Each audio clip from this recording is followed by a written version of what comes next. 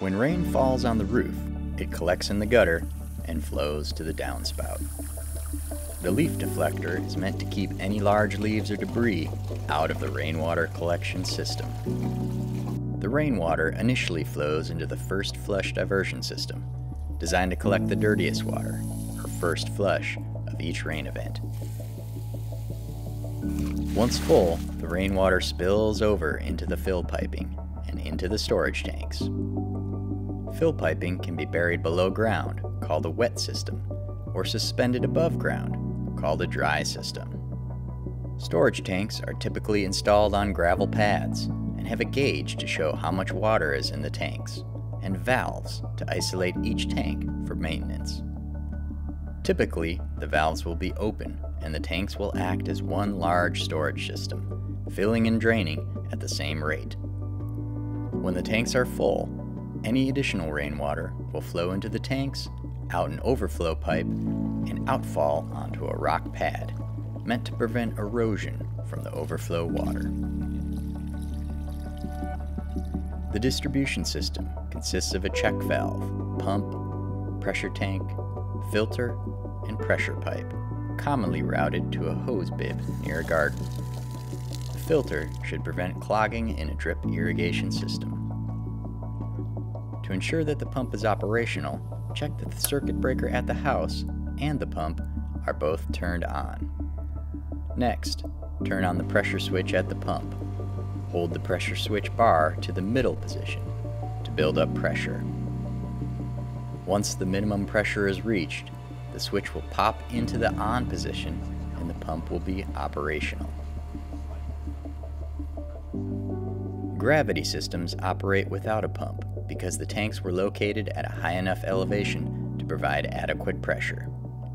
All systems were also outfitted with a fire hose connection for emergency water use. Rainwater catchment systems are meant to capture and store water in the winter for use during the summer.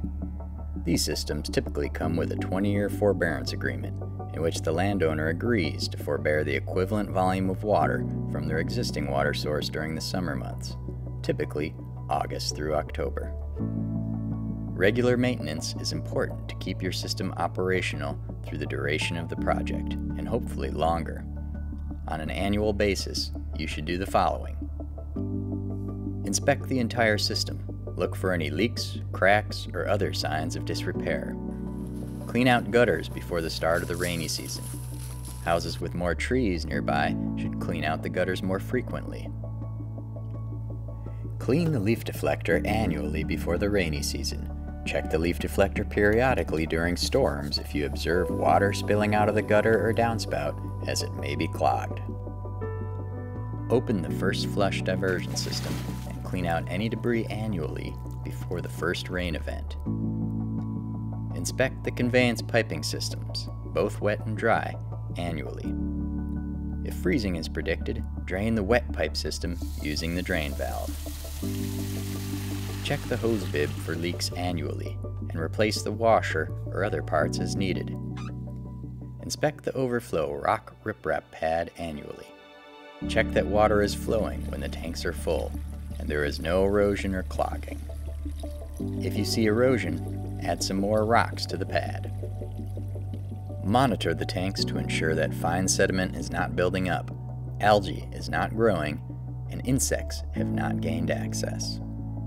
Clean tanks at a time when minimal water is stored in them. For sediment buildup, use a hose to fill a few inches of water in the bottom of the tank to flush sediment through the tank outlet and drain.